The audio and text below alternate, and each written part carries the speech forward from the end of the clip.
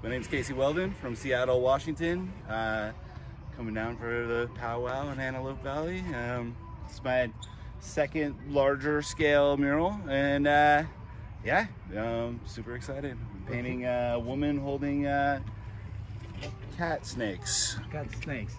Okay, where does the uh, inspiration come from? Oh man, I don't know. Uh, uh, do paint a lot of cats. Uh, this is a model uh, that I've used for a lot of paintings. that do usually much smaller scale um, gallery work, and uh, yeah, I, I, was trying to get some kind of inspiration from desert uh, wildlife. I know cats aren't necessarily in there, but mm-hmm. it's got the snakes, and there's gonna be some Joshua trees, and yeah, I was just trying to do something fun, but also maybe a little spooky. Oh, very good, very good. And how do you get involved with powwow?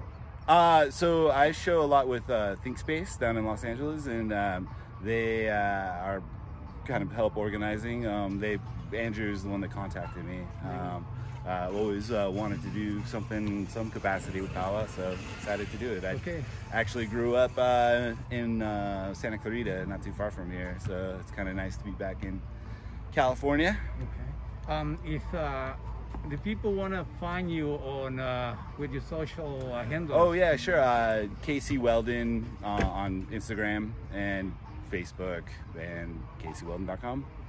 The website? Yeah. Okay. Thank you so very much for your time, bro. Yeah, thank you.